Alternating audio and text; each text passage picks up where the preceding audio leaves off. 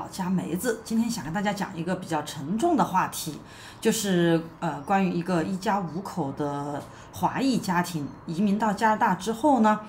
嗯，妻子妻子三十七岁，我我刚刚才把这个文章简单的看了一遍，得了肺腺癌，然后在二零二三年的九月啊发现这个病之后，在二零二三年的十一到十二月就去世了。然后这位呃，这位就就是家庭的男主人，也就是三个三个孩子的爸爸，就写就在公众号上写了一篇文章，叫我妻之死，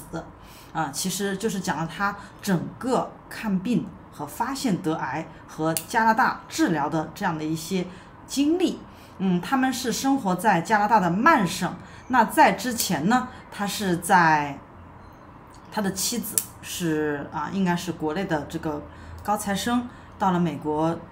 读书以后啊，一直研究生没有毕业，然后拿到 H1B 工签呢，他也没有在美国待，就直接回国了。我想可能那个时候，因为他的爱人和孩子应该都都在国内，所以就放弃了美国的 H1B 签证。啊，直接回国，回国以后发现还是需要出来，所以这样就又去到了嗯加拿大的曼省，应该是通过读书或者是工作的方式啊，最后拿到加拿大的枫叶卡。那么，那他们既然是加拿大的 PR 或者是公民，他们自然会享有啊加拿大的这个免就是这个免费医疗的这个体系，也就是说我们的医生啊看我们的有免费的家庭医生。全家，然后再一个，如果是去医院治疗，那么呃，那么那么在在我的这个正常的我的社保，相当于就叫叫社保吧，对吧？公立医疗的这个范围内能够报销的药品，那么那么都是免费的，免费的。那么就是这两点。好，那他呃讲我妻之死，无非一表达妻子从本来存在，结果呃。去世了啊，这么这么短短的一个时间的整个经历，那么也折射出呃，在在，因为他有两次看病的经历，第一次是去做一个什么检查，然后没有发现有癌症，然后再一次是。去做了一个面部下颚的手术，我不知道是一个什么手术，呃，那么也没有发现有癌。然后呢，他是就去做了一个妇科的一个什么检查，然后就查了这个癌方面的一个指标，就发现有百分之三十的可能性是呃癌症，是癌症。好，那么那么最后我才看到这个他的癌症叫肺腺癌，因为我在二零一三年。二零一三年、一四年第一次去美国的时候是跟团去的，然后呢，呃，我们跟团的这个导游他是一个嗯三十岁左右的单身大龄女青年，然后因为我在去美国的这个过程中，因为是自驾游，我们当时是去洛杉矶、旧金山、啊黄石公园那等等这些地方，有些景点我没有去，因为我在这个过程中我就开始。就是过敏，过敏，过敏，就是我的脸上像树皮一样，啊，就像案发，就像那个案发现场一样，大腿也全部都很痒，呃，肿了痒，然后脸就像一个树皮一样，然后去了急诊医院，呃，这个因为我们一起，就是整个这个车队是有应该有十几个人，然后这个导游他有没有陪我，我不太记得。嗯，因为毕竟我们在一起也有那么有也有也有第一次认识，对吧？然后他带队，呃，起码有一个相处的时间，并不是很熟悉。但是当我们从美国离开以后，回到回到武汉，然后之后，嗯，就有人跟我讲说他。嗯，说他得了癌症啊，我们就觉得非常的惊讶。然后我自己呢，因为我不避讳这个啊，他已经在医院里，我知道是胰腺癌了，我记得非常清楚。其实我跟他关系非常的一般啊，然后呃，然后我就过去看他了，他是在同济医院，然后我给了他五百块钱红包，就是我觉得这个也算是一个临终关怀吧。比如说这个人他呃。应该是很很确定的，就是根本没有回天之力啊！因为我又查了一下胰腺癌，它是来的非常的凶猛啊！发现得了这个病，你可能很快，那基本上是没有治疗，没有治疗的方案，那肯定就是死，所以，但是我还是说把红包给他，我说祝你早日康复。啊，我觉得这也算是一种临终关怀吧，嗯，所以这个人他得的是肺腺癌，只要和胰腺有关的，我认为应该都是比较快，所以在他这个文章中，他提到的前面的几点没有发现，呃，癌这个也不能怪医生。因为有些癌癌它来的就是很迅，我们每个人身上都有癌细胞，对不对？只要它没有被激活，那它就是一辈子就是跟我们相安无事。但是，一旦被激活，有些癌细胞它就会比较，就像这种跟胰腺有关的，因为我毕竟有有了解过。好，这是关于医生方面，我没有认为有什么问题。当然，里面有一个地方出错，就是发现癌症以后，好像给他用的一个靶向药是错了，对吧？嗯，因为公立医院。怎么说呢？对吧？医疗，呃，这个也够不上医疗事故，嗯，然后在医疗这个里面，医生最后发现这个癌症的这样整种种种的处理结果以后，呃，就建议，呃，那叫什么叫叫那叫嗯，就是平就是嗯，那叫什么呢？就是临终关怀也好，就是让他在嗯，因为已经知道结果了，那么就。不要再耽误这个时间，因为根本没有回天之力，所以那还不如不要去让加速病人的痛苦，对吧？让他呃，你该你该那那那我当然我也不能粗鲁的跟你讲，我肯定是要跟你当事人讲说，那你要呃，你接不接受这个？你接受好，那我们就按这个来操作，因为也许啊，大家都会认为是吧？我们在让这个死的这个过程，让你为什么有安乐死呢？对不对？那就是希望希望。在临死之前，让自己对吧？已经很痛，已经我都要死了，那还不如知道这个结果，那还不如让这个事情来的舒缓一些，安详一些，对吧？所以我觉得医生这块儿也没有错，因为这个结果是确定的，百分之一百确定。就是你回到回到美国，你就去美国去去中国，这个跟胰腺有关的癌症，我认为都是基本上治不好的啊。其他的癌，你比如说像乳腺癌呀，或者别的癌，呃，可能就是说这个。嗯，存活率都会高得多啊，高得多。你比如说像乳呃乳腺乳腺癌，你把它切了，呃有些把它切了，那么五年的这样一个保守那个那个那个什么康康复期呃观察期，后面呃只要没得病，那么就就基本小小心翼翼的，那么也能活得长久。所以，我身边也有好几个得乳腺癌的朋友。对吧？所以这里面也说了，这个他的妻子非常的要强，国内很优秀，到了美国读研究生半天毕不了业。然后呢，嗯，在加拿大的生活可能也是呃压力比较大，对吧？嗯，然后所以有这样的一些嗯身体上的一些潜在的一些问题，其实已经出现了。所以我们说去怪加拿大的这个公公立医院的这公立医疗，其实是。嗯，就是这个样子的。其实每，因为他也不是对他是这样，他就是这个样子的，对吧？所以，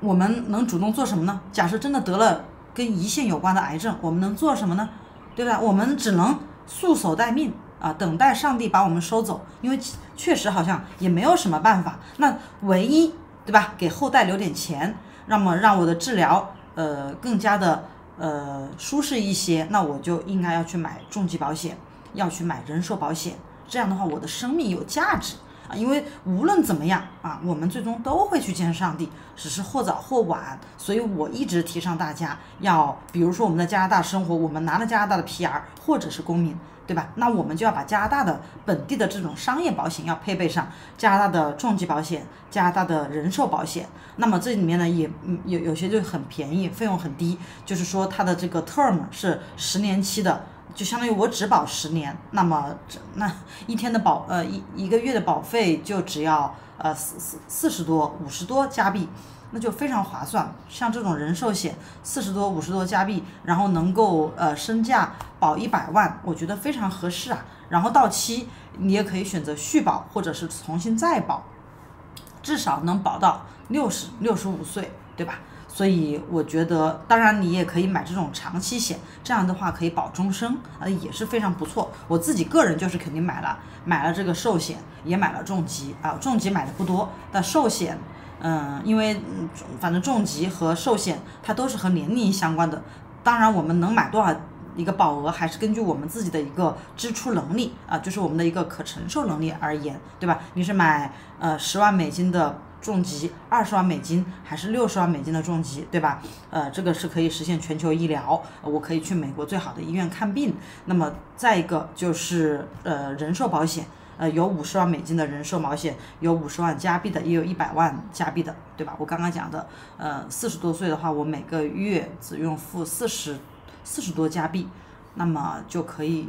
整个下来，我一一年下来，就是我随时每一天我就有一百万，我如果身故了，我就有一百万加币的这样的一个保费保保呃理赔金，那可以给到自己的子女啊，对不对？那那也是非常有价值的，所以保险它一定是很有价值的。所以，我我们呃，一方面就是说，我们不是说去抨击，说这个人他死死亡就啊，加拿大的医疗就很好，不是这样的，是任何机制它都没有完美的，而我们在这里面我们要得到什么，我们得到了没有？那在得到的基础上，对吧？我们还要去做一些补充，呃，比如说像上在医疗保障方面，我明知道它的公立教育现在人这么多的来，它本身它的这个医疗资源就非常有限。那在这种情况下，我要做什么？那我肯定要配备一些附加的商业保险。那这样的话，我可以去私立医院看病，我可以去美国看病，对吧？然后这就是人寿保险，那也是要配备的呀，对吧？我在哪里看病，我还可以回国呀，对不对？我国国内的医疗就是保险是可以买 n n 个保险的，然后我在国内看病，我我我也可以回国看病呐。如果我你许觉得国内的保险就是国内看病方便，对吧？照顾也方便，那我也可以选择。回国看病，因为很多的这些重疾保险，它是保全球的三甲医院的，呃，就是说，呃，国内是三甲，其他地方就是一些知名的医院，私立的、公立的都保，这是重疾保险。然后人寿保险，无论是什么样的，我们出现任何意外，它都保，只要就保身故，对不对？那我们最后都会身故，所以这种保险那就是值得的呀。那那再一个就是人活多久，什么时候死，其实我觉得这个东西，在我们主动的防御之后。啊，也非常的注意注意的，但是他还是还还是对吧？找到就是他确定了，我们就那一天就得挂，就得去见上帝。上帝喜欢我们，他就想让我们陪着他一起。那那我们死亡也是有我们的生命也是有价值的呀，对不对？所以我始终认为重疾保险要买，然后呃人寿保险要买，就是无论生活在哪里，生活在中国，生活在加拿大，生活在哪里，这都要买，对不对？都要买。所以嗯。就是我们享受了这个体质，它的好的一个部分，那么就要接受它不好的。那么怎么去接受？不是，是我们主动的要去做一些啊，能够起到积极防御的事情，而不是啊，明明知道它是这样，我就去呃接受，以后我也不去做一些积极的防御啊，对我们整个家庭，对我个人，对我们整个家庭有利的事情。嗯，所以。在我，因为我不知道这个人他们这个家庭买没买买没买这些重疾的保险。总之而言，首先胰腺癌它本身像这种类似的病，它就是发现发现快，走的也快，就基本没救。所以我觉得医生的部分也没有没有什么很多的错。但是呢，这里面的第二个问题就是说，加拿大的医疗确实是确实是家庭医生不足，然后他的公立医院嗯看病。那那那那人少，然后看病速度也慢，你看个肚子痛可能要搞几个小时，呃，晚上去到半夜才回，这是完全有可能的，对吧？看个急诊，所以然后什么药都不会给你吃，他因为他不主张吃抗生素，他不会给你什么药，就这样的，并不是小气，就是不给药。啊，那因为抗生素，嗯，然后那么那么那么那么针对这个实际的一个情况，其实特鲁多在去年已经拨付了两千个亿，应该是两千亿加币到加拿大的所有省份，从二零二四年开始执行，其中安省得到的这个医疗的这个资源是最多的，那其次就是 B C，再就是魁北克，然后其他的省份。就基本上就是比较均分一下啊，这个医疗的这个钱，然后相当于是十年，呃，两千亿，然后每个省分一些钱，你们去把你们的这个医疗体系、医疗的这个所需要配备的人员去加强。所以加拿大已经在做这个事情，但是它肯定是需要时间。那我们如果我们不能去等这个事情，对吧？我最讨厌等，那就主动要去买保险，然后有能力就去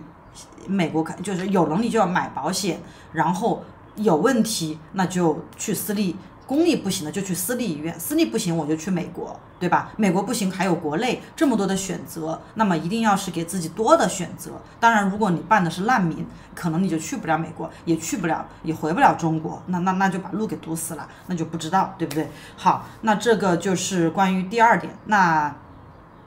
第三点，好像我基本上要讲的就是这些吧。嗯，就是说通过别人的一些问题，我们来发现一些真实的现状啊，包括如果是自己应该要怎么去防范这些啊风险啊这些主动风险，但是被动风险就完全没办法去避免的。比如说自己突然有一天得了一个癌，那你那你那你那你能治就治，那不能治，第二就听天由命。那要我们死也不得，是吧？君要臣死，臣也不得不死，就是这样的。嗯，所以如果我哪天得了这个癌症，我不要我的家人写任何的公众号，我也不需要任何的联系，因为该死就就死。嗯，就是因为这个世界这个地球本来就我们自己人也没有完美，所以也不要去追求，希望美国、希望加拿大全部都是完美的，但他们都不是完美的，所以我们选择其中的好的，接受好的，也要接受差的，并且去主动去防御这些这些问题就好了。好吧，那么我们希望这个三十七岁的妈妈在天之灵能够啊能够安息，然后也希望这个家庭能够勇敢的啊生活下去，并且过上更好的生活，在未来呃积极的多赚钱啊搞好身体多赚钱，然后把孩子啊好好的养大啊，也希望他们能够健康平安幸福的，呃即使妈妈在天之灵也会保佑他们啊，希望他们健康平安幸福的。一直勇敢的生活下去。好的，今天就讲到这里。